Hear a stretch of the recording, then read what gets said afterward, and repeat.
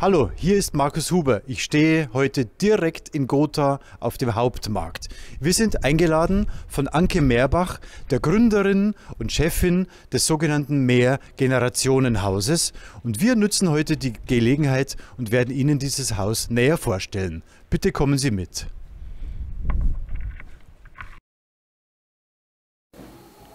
Hallo, herzlich willkommen im Mehrgenerationenhaus Gotha am Hauptmarkt. Schön, dass Sie heute da sind und unsere Gäste sind. Wir würden Ihnen gerne mal unser Haus zeigen. Ah, das ist ein sehr schöner Raum. Ja. Was findet denn hier statt? Also das hier ist unser Tanzsaal. In diesem Raum finden ganz viele Kurse statt, die zum Beispiel einen Spiegel brauchen. Man kann hier tanzen, Sport treiben. Unsere Hebammen führen Geburtsvorbereitungskurse durch. Habe ich was vergessen, Julia? Nein, du hast alles genau. Für mich die Frage, Ja. wie komme ich denn dazu, hier einen Kurs anzubieten oder werde ich von euch gefragt? Wie, wie kommen die Leute hier auf, an ihr Angebot? Also man kann einfach auf uns zukommen, uns anrufen und diesen Kursraum stundenweise anbieten. Wenn man zum Beispiel Kursleiter ist, der regelmäßig freiberuflich Kurse gibt. Oder auch wenn man eine Gruppe hat, mit der man sich mal treffen möchte, kann man auch diesen Raum stundenweise anmieten. Und jetzt in der Pandemiezeit haben wir uns überlegt, wir haben uns technisch so ausgestattet, dass man auch hier Online-Kurse, dass man alleine reingehen kann und einen Online-Kurs geben kann. Und das kann von hier aus mittlerweile gut übertragen werden. Für mich noch eine Frage, dieser Raum ist wunderschön, die Wände sind wunderschön, aber ich habe das Gefühl, dass die Wände alle schräg sind. Was hat es denn damit auf sich? Das ist eine richtige Einschätzung. Wir befinden uns in einem komplett denkmalgeschützten, sehr alten historischen Haus. Das bringt solche Besonderheiten mit sich, die wir sehr schätzen und bewahren und diese besondere Atmosphäre genießen. Wunderbar. Vielen Dank. Dann gehen wir einen Schritt weiter. Gerne. Ach, nur wirklich so. Wir befinden uns in unserem wunderschönen Beratungsraum. Welche Formen von Beratungen finden denn hier statt? Viele verschiedene, wir sind individuell offen für alle Interessierten. Das geht los bei Selbsthilfegruppen, die kostenlos in unseren Raum dürfen, gegen Verzehr eines Getränks aus unserem schönen Café. Geht weiter über Bündnisse, ähm, die sich treffen können, Elternkinder-Initiativen, die einen Versammlungsort suchen. Jeder, der Bedarf hat, sich zu treffen, in einem geschützten Raum, kann auf uns zukommen, anrufen oder im Café nachfragen und sich sehr gemütlich machen. Was ich gerne noch ergänzen würde, wir haben in letzter Zeit vor der Pandemie das Café so schön voll gehabt, dass wir gemerkt haben, dass unser Team mitten unter den Kaffeegästen schlecht eine Pause machen kann. Deswegen gestalten wir unsere Räume gerade um und werden wahrscheinlich diesen Raum hier als Pausenraum für unser Team gestalten. Und wir zeigen euch und Ihnen gerne den künftigen Beratungsraum, der noch ein bisschen kuscheliger ist. Sehr gerne. Danke. Gut. Wow! Hier in diesem Raum wohl die einzige Modeboutique in ganz Gotha, bei der man zurzeit noch einkaufen kann. Leider nicht ganz. Also auch wir sind von Pandemie betroffen und müssen das hier alles zuhaben. Wir befinden uns hier am Second-Hand-Stübchen, das uns sehr am Herzen liegt, weil unser Haus ganz großen Wert auf Nachhaltigkeit legt. Wir sind dagegen, dass so viel weggeschmissen wird, bieten an, dass man gut erhaltene Sachen bei uns abgibt. Und die Gäste können hier in, unter normalen Bedingungen, ohne Corona, können hier gerne stöbern. Wir sind auch schön zentral gelegen am Hauptmarkt, sodass jeder äh, gut hierher kommt. Und es gibt kleine Preise. Man kann entweder äh, Sachen abgeben, man kann auch, wenn man kein Geld hat, einfach tauschen, dass man einen Beutel Kindersachen abgibt und in der nächsten Größe sich gerne was nimmt. Das läuft ganz gut, aber wir werden es jetzt äh, für die nächsten Monate probieren wir gerade ein neues Konzept zu entwickeln. Es wird ein komplettes Bundesfreiwilligenprojekt äh, mit Öffnungszeiten. Also es kommt noch mal eine Stufe besser organisiert. Wunderbar. Vielen Dank. Das ist mein Lieblingsraum. Kreativität, wo man hinschaut. Was geht hier vor sich? Ja, wir sind in unserer Medienwerkstatt. Hier findet man alles vom Fotokopierer über Mal- und Bastelsachen, Dekorationsartikel, die gerade zum Umräumen noch hier stehen, Bastelbücher, ähm, jegliches Material, was man sich erdenken kann, um kreativ neue Sachen zu schaffen. Und wer wird hier kreativ äh, glückselig gemacht? Wir haben verschiedene Projekte und Veranstaltungen im Haus, ähm, wo wir die Sachen nutzen. Man kann den Raum auch mieten und nach Vereinbarung selbst ähm, aktiv und kreativ werden. Ja, es gibt viele bunte Möglichkeiten und Projekte. Das heißt, wenn ich jetzt mit zehn Kindern Lust hätte, was zu basteln, habe aber zu Hause nicht die Möglichkeit in meiner 14 Quadratmeter Wohnung, dann kann ich bei euch anrufen und kann mich bei euch einmieten, richtig? Wir finden dann eine Lösung nach Vereinbarung, dass unser Team auch gerne ein Angebot macht, dass wir ein Projekt schaffen, dass wir in bekannte, vorhandene Angebote ähm, dich mit reinnehmen mit deinen ganzen vielen Kindern und dort gemeinsam was gestalten. Super. Du sitzt jetzt mitten in den Weihnachtssachen. Hier sehe ich noch ein Osterei, hier sehe ich äh, Stangen, Plastifolien, eine Schultafel. Was soll hier passieren? Ja, also diese ganzen dekorativen Sachen werden gerade auf- und umgeräumt. Unser Haus wird umgestaltet. Normalerweise ist der Tisch frei, unsere Räume sind frei, dass man sich auch treffen kann, gemütlich zusammensetzen kann und ähm, eine aufgeräumte, ordentliche Atmosphäre genießt. Also seid gespannt auf viele neue, schöne Sachen. So, wir sind jetzt im ersten OG und ich muss Ihnen etwas zeigen.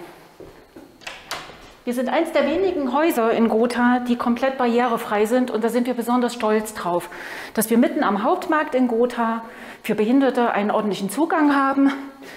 Wenn Sie vielleicht mal einen Blick hier reinwerfen wollen, es ist eine Behindertentoilette da, wir haben die Möglichkeit, dass Kinder gewickelt werden. Und bei uns gibt es keine Wegwerfhandtücher, wir haben Einmalhandtücher, liebevoll in Handarbeit genäht. Und da sind wir ziemlich stolz drauf.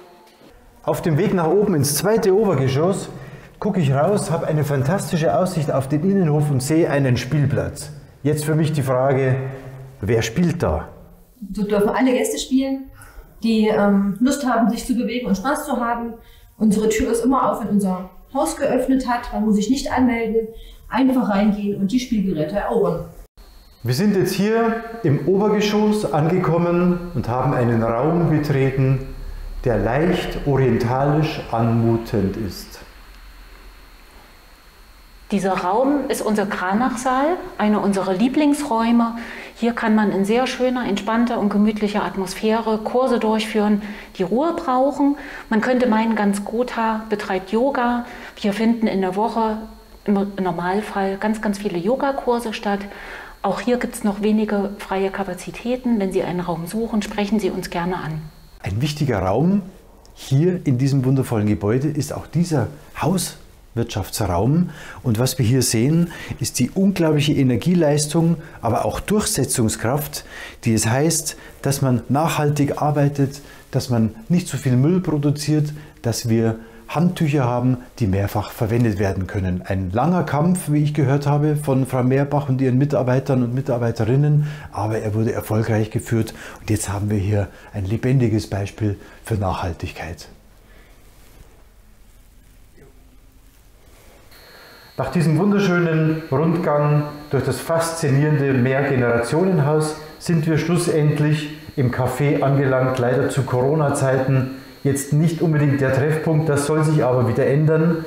Ich habe allerdings die große Freude, bei Anke Mehrbach und Julia Krebs zu sitzen mit einem wunderschönen Tee aus dem Bambusbecher, Thema Nachhaltigkeit. Und wir haben hier auch eine ganz großartig aussehende und wahrscheinlich auch toll schmeckende Linzertorte, die extra noch vorbereitet wurde, weil ich heute hier der Gast sein darf. Jetzt erstmal herzlichen Dank für die tollen Informationen. Noch ein paar Fragen. Seit mhm. wann gibt es dieses Mehrgenerationenhaus? Also unseren Verein gibt es seit 1998. Da waren wir ein paar junge Eltern, hatten alle Kinder und jeder, hatte, jeder Gaststättenbetreiber hatte Angst, wir kommen rein und wollen Kaffee trinken. Und da entstand bei uns der Wunsch, dass wir eigene Räume uns irgendwie suchen. Wir haben uns einen kleinen Raum angemietet und aus diesem kleinen Raum ist dann innerhalb von 21, 22 Jahren dieses riesengroße Haus geworden. Wir hatten 13 Quadratmeter, jetzt sind es 750, wie gesehen wurde, und ein Außengelände mit Spielplatz. Aber das sind die ganzen Jahre. Wir sind siebenmal umgezogen. Die Zeitung hatte mal gesagt, wir sind die jungen Nomaden Gothas, mhm, weil wir andauernd umgezogen sind. In welchem Zustand war denn dieses Haus, als ihr hier reingezogen seid? Also wir haben das Haus tatsächlich von der Stadt in einem exzellenten Zustand bekommen. Es war von Anfang an barrierefrei, da waren wir sehr dankbar dafür. Allerdings haben wir auch sehr angestrengt, weil wir haben ganz viele Wände entfernt. Und wie man zum Beispiel an den tollen Fußböden sieht, wir haben den ganzen Fußbodenbelag, diesen grauen Büroteppich, wir haben alles rausgetan. Wir haben monatelang hier umgebaut. Mhm. Aber die Grundsubstanz ist fantastisch und wir sind wirklich dankbar, dass wir hier am Hauptmarkt sein dürfen. Ihr bietet eine Speisekarte an, Montag bis Freitag. Das heißt, jeder Geschäftsmann oder auch äh, Tourist oder auch jemand, der durch die Stadt geht, kann hier schön Mittag essen. Gibt es Besonderheiten in der Speisekarte, die ihr anbieten möchtet, auch zukünftig? Ja, wir sind ein öffentliches Café. Unsere Speisekarte hat einen Mittagstisch mit immer zwei Gerichten zur Auswahl. Davon ist eines immer vegetarisch, damit sowohl Fleischesser als auch Nicht-Fleischesser beide gleichermaßen glücklich werden. Wir sind bemüht, ähm, regionale Zutaten zu verwenden, auch mit Bio-Zutaten ja, zu arbeiten, wenn es möglich ist. Und alles wird selbst gekocht, jeden Tag frisch. Und auch zu wahrscheinlich erschwinglichen Preisen. Genau, wir haben immer drei Portionsgrößen beim Mittagsgericht zur Auswahl, S, M und L. Die Preise werden sein ähm, 4,50 Euro für die S, 6,50 Euro ähm, M und 8,50 Euro für Größe L. Fantastisch. Und wir werden jetzt noch gemeinsam Mittagessen. Es gibt Spaghetti Bolognese mit einer veganen Bolognese-Soße und das lassen wir uns jetzt noch munden. Ich würde mich sehr freuen, wenn Sie dieses Haus besuchen, wenn Sie spenden, wenn Sie Projekte anbieten, wenn Sie Ideen haben, kommen Sie vorbei. Es lohnt sich. Es ist ein absoluter Hotspot und das meine ich jetzt im positiven Sinne für Corona. Und ich wünsche Ihnen noch einen wunderschönen Tag. Vielen Dank, Ihr Markus Huber.